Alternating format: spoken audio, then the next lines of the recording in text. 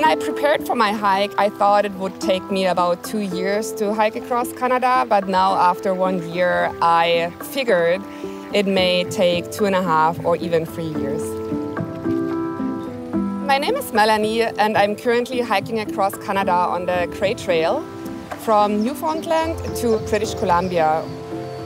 People are asking me, Aren't you scared? Um, yeah, I, I am scared sometimes. I mean, there's wildlife that I was, especially at the beginning, not that familiar with. You know, I, I'm sleeping next to bears and coyotes.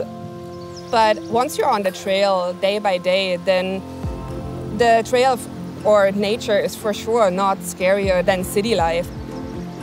But this trail actually makes you understand how good people are because you will experience so much kindness and hospitality along the trail. Even though sometimes I struggled or I had a bad day, I never felt I want to stop. I never felt this is too much for me.